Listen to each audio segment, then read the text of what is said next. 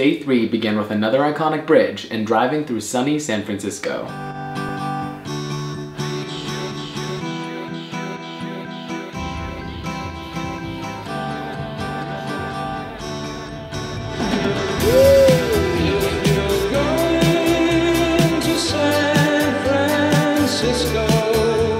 It was crazy to see how many people had come from all over the world to see the Golden Gate Bridge.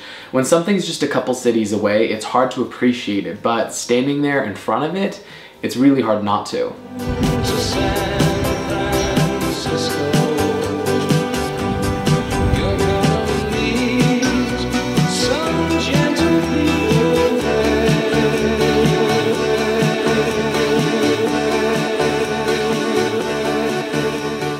Getting to the Enchanted Forest would take a second, so I built in a stop that I found on a website called Thrillist that lists all sorts of interesting things that you can do in any area, and I found Fort Bragg.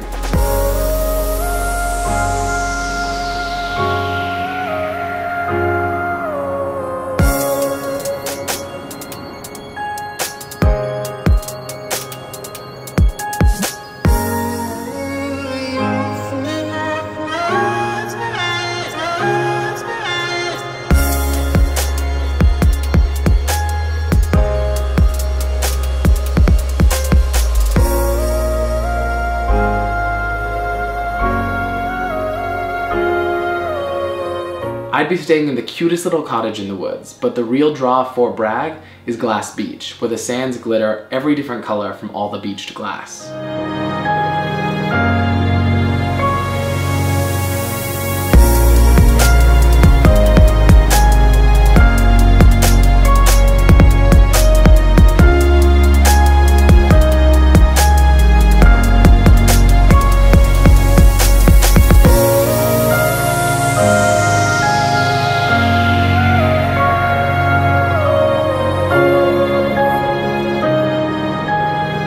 But it wasn't until I got to Glass Beach and I read a placard that I realized that the history of this town is actually much darker.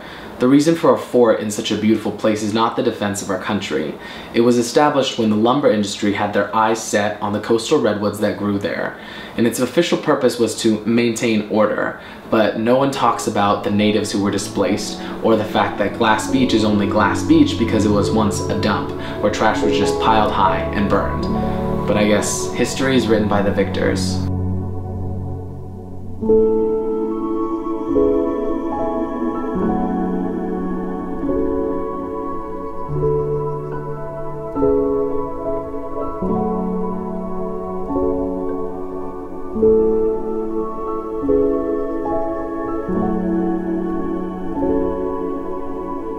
Today, Fort Bragg is filled with the friendliest and most hospitable people. But as I readied myself for the next part of my journey, my heart still ached for the special corner of the world and the people who once called it home. As beautiful as Fort Bragg is, I wish I could have seen it before greed got to it.